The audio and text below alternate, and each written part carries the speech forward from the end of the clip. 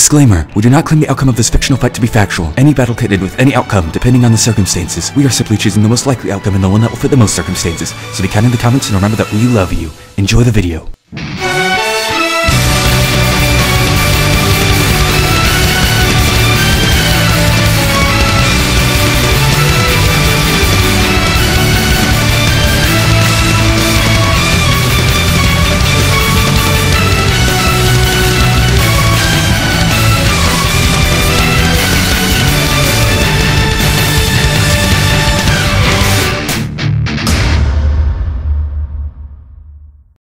Fictional fight rules! No prep time. No outside help unless it is a major part in a character, like Pikachu and Ash, Jak and Daxter, or Gaara and his mother Sand. Non-canon events will be included as long as they are not contradicted by the main canon. You know, we've had a lot of rough battles on fictional fights. It'd be nice to get something a bit more traditional. And what's a more traditional way of fighting than boxing? Uh, don't answer that, it's rhetorical. Ippo Makunouchi, the featherweight fighter from Japan. Little Mac, the bite sized bruiser from the Bronx. Which one of these boxers will win in a battle to the death? Uh, I mean, knockout. This is Fictional Fights. Ippo Makunouchi grew up helping his mother out with the family fishing business. Lifting up all those crates of bait, ice, and whatever else fishers used helped him build up a natural strength he never knew he had. After getting beaten under a bridge, he was saved by Takamura who inspired him to take up boxing. Wait, is this anime Rocky or anime Karate Kid? Takamura brought Ippo to their gym and with his trainer Genji by his side, Ippo was soon ready to take on the world. Let's see how he became Japan's featherweight champion. Standing at 5 feet 5 inches and 124 pounds, Makunouchi was one of the heaviest hitters. Even from the beginning, it was easy to tell he had something special. When he almost knocked a sandbag off the chain with his bare hands! Ippo is an in-boxing whose style revolves around charging in and beating his opponent to the punch. Ironically, he's also very defensive. He takes on Mike Tyson's style of peekaboo. His stance protects his lower face with his fists while his elbows protect his chest. This stance makes it very easy for him to weave and retaliate quickly when he blocks a punch. And you certainly don't want to get countered by him. His punches are powerful enough to send opponents around the same weight as him flying back across the ring. He has many variations to his punches, like the uppercut which can paralyze his victim's legs if the tip of the chin is hit, or feints that he can mix with Saki to make a mirage punch before throwing a real one. In addition to that, he has many signature punches, one of them being the liver blow which is strong enough to break ribs. Then there's the gazelle punch, a leaping uppercut from below so strong it knocks opponents off their feet. Finally, there's his Sunday punch, the Dempsey roll.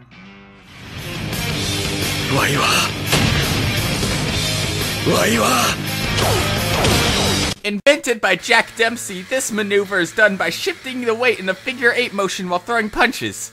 It's a powerful mixture of offense and defense. And while it used to be easily counterable, Ippo evolved it into the freeform Dempsey roll, which sways so low that he can throw uppercuts while he weaves. Even Takamura was impressed, calling it an unlimited freeform high-speed combination that would be impossible to aim a counter towards. He also has the heartbreak shot that he learned from Date-san, which can stop the heart temporarily. Kinda creepy. Yeesh. This strength isn't just for show either.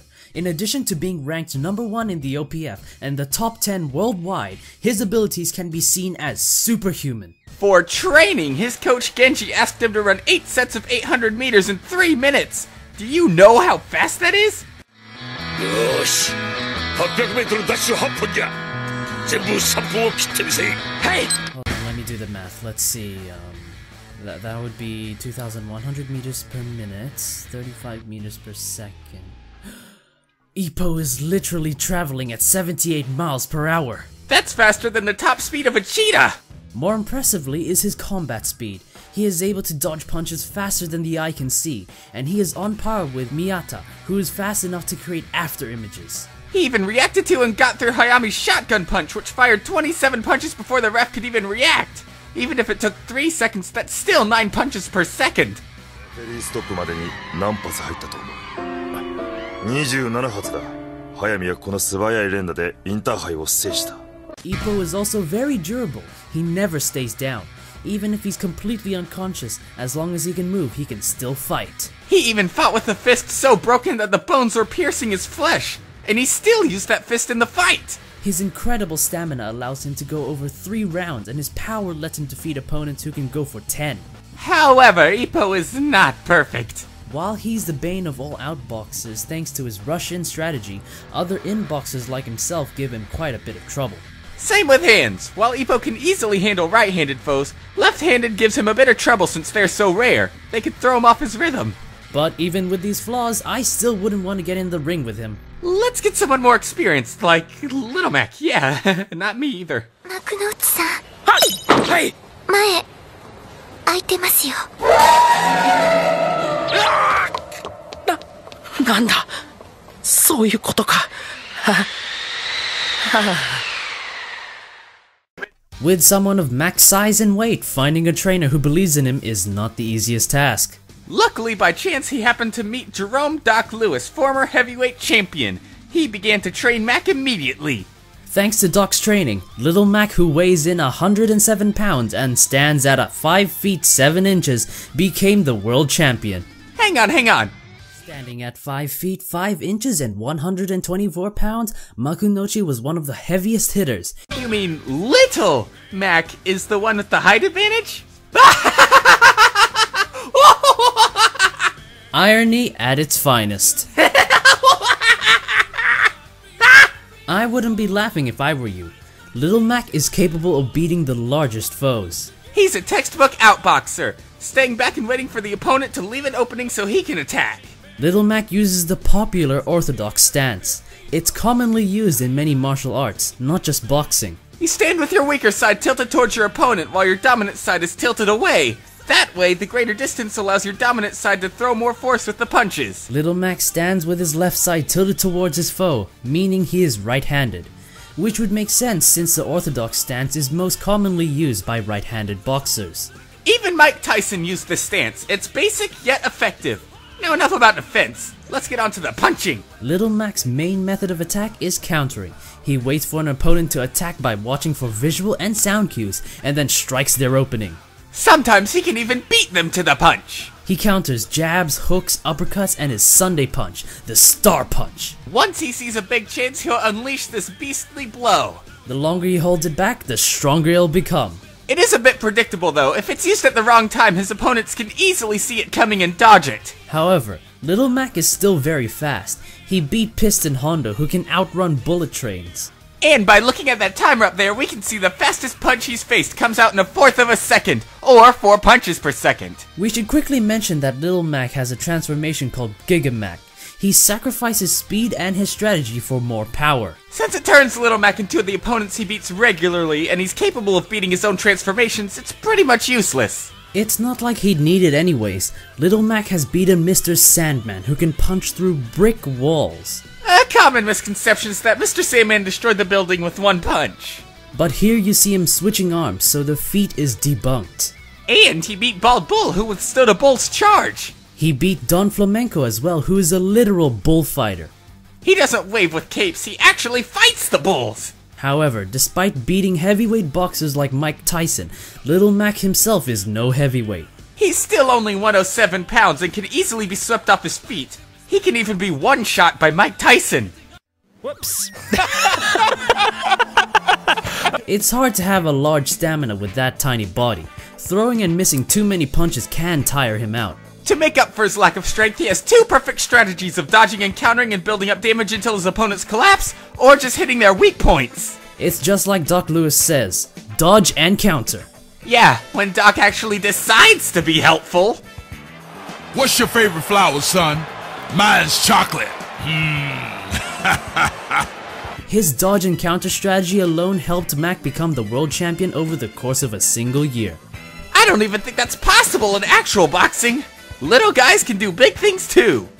Let's see if defeating Ippo is one of those big things. It's time for a fictional fight! Ding ding ding!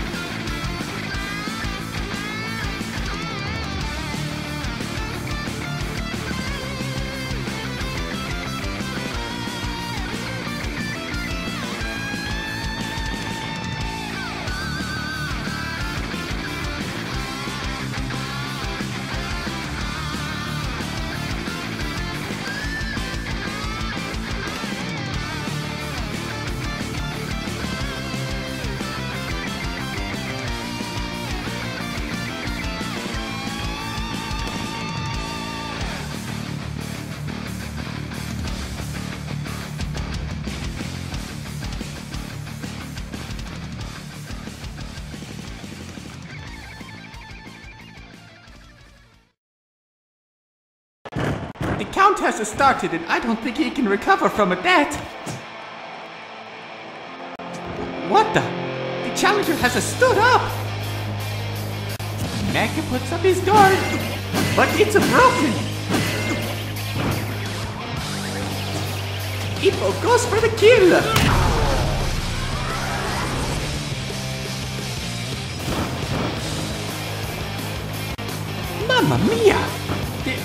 Champion is down!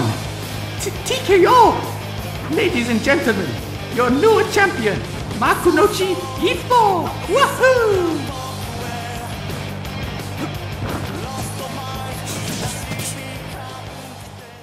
Ah, it feels so refreshing to have a regular knockout for once instead of a gruesome, gory death. Yeah, I prefer the brutal violence. So let's go over how Ippo won this tough match. First is power.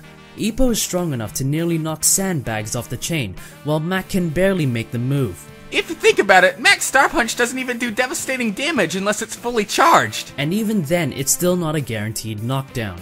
He may have beaten Mr. Sandman who can punch through brick walls, but Mac himself can't even damage King Hippo through his sewer lid or Glass Joe through his headgear without knocking them off first. Meanwhile, Ippo can bruise others through gloves and headgear.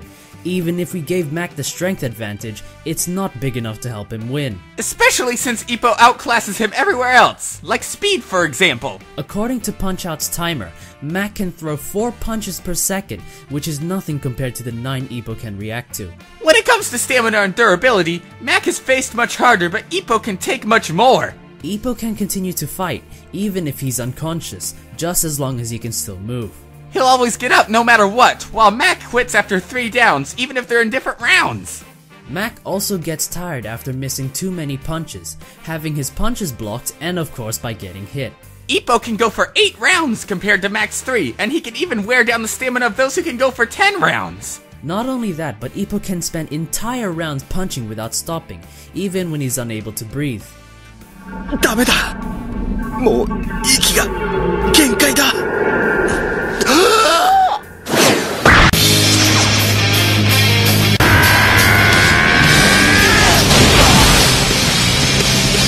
Even Mac's height advantage ends up being a disadvantage when it comes to the freeform Dempsey roll. Since it's always so low, Mac wouldn't be able to deal with it since he's taller than Ippo. Mac may have fought a wide variety of opponents, but there's no variety in their punches. Mac has never dealt with opponents who can stun, counter his counters, or switch up styles mid-match like Ippo, and Ippo's opponents can.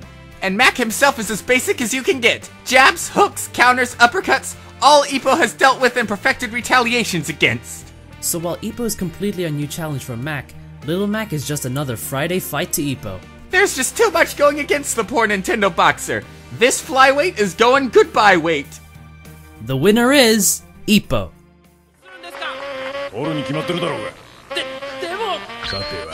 こんなもんか気にすんな男は大きさじゃねえ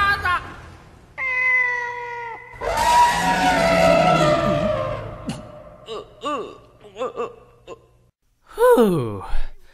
Well, that's another episode done. Yup. Well, I'm off to Japan. Wait, what? See ya! Come back! Take me with you! Lucky jerk.